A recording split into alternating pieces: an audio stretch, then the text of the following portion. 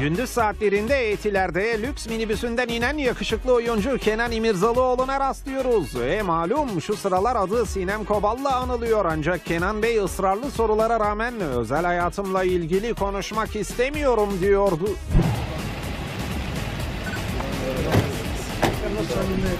Soruyu sorsak Kusura bakmayın arkadaşlar. Özel hayatımla ilgili hiç konuşmayacağım. Siz hep aynı soruları sorup ne beni yorum ne de vatandaş. Abi aynı soruyu Özel hayatımla ilgili konuşmayacağım. Teşekkür Efendim bu ederim. haber Kolay yalan mı doğru mu onu söyleseniz bari.